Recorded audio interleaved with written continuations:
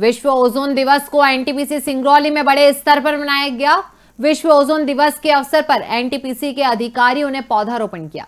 NTPC Singrauli में पर्यावरण संरक्षण की प्रतिबद्धता के तहत विश्व ओजोन दिवस 2023 बड़े स्तर पर मनाया गया। इस अवसर पर परियोजना प्रमुख राजीव अकोटकर एवं अन्य वरिष्ठ अधिकारियों ने प्रशासनिक भवन परिसर में पौधारोपण किया। इस दिवस पर राजीव ने कहा कि पर्यावरण संरक्षण एनटीपीसी सिंगरौली की प्रथम प्राथमिकता है। भविष्य में भी सिंगरौली निरंतर पर्यावरण के लिए नवीन एवं आधुनिकतम तकनीक को अपनाते हुए पर्यावरण संरक्षण के लिए सफल और सार्थक प्रयास करते रहेगा।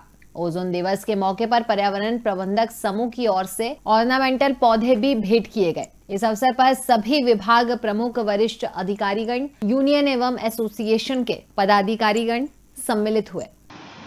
एनटीपीसी सिंगरौली के हमारे सभी साथियों को आज बहुत बहुत बधाई हो ओजोन डे के लिए। आज हम लोगों ने बड़े पैमाने पे ओजोन डे मनाया है और इसी तरह से इस कार्यक्रम को जारी रखना है। हमें जो है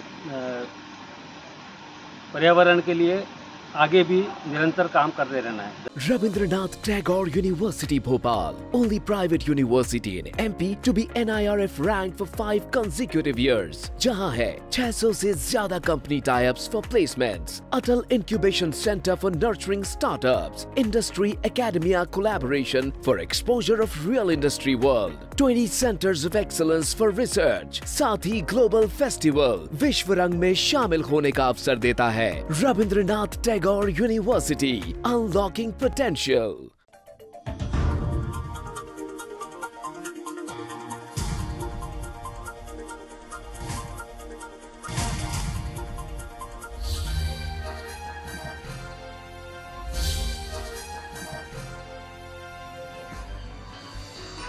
आप देख रहे हैं दखल न्यूज